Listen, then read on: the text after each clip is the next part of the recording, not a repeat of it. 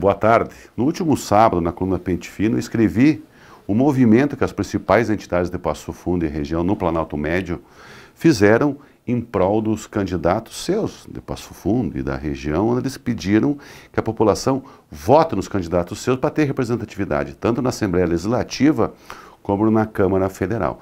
Naquele momento existiu um movimento aqui em Erechim, eu tentando descobrir que algumas entidades daqui se ia ter algo similar.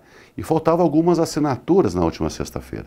Ontem, conversando com o pessoal, então, as entidades representativas de Erechim com força, eu digo aqui CDL, eu digo a, a CIE, Sindiveste, uh, e também o Sindicato Rural, então, também assinaram um documento numa campanha onde eles pedem voto para os candidatos de Erechim região também para buscar essa representatividade. Para mim, isso é um fato inédito, eu nunca vi na história de Erechim que as entidades se unissem em prol. Até eu acho que é tardio essa manifestação, mas antes tarde do que nunca. Eu sei que muita gente não concorda com, com essa relação do voto regional que eu tanto defendo, mas é uma questão da democracia e eu acho importante que a nossa região tenha sim os seus representantes.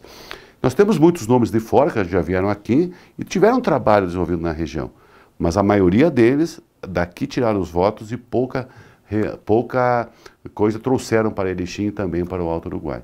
Então fica a dica aí, pessoal, nós estamos aí a três dias, quatro das eleições, pense bem que você vai depositar seu voto. Se for um cara de fora, veja o que ele fez para a nossa região. E se for acreditado aqui, tem uma, várias opções, tanto a federal como a estadual, para você fazer a sua escolha. Uma boa tarde a todos.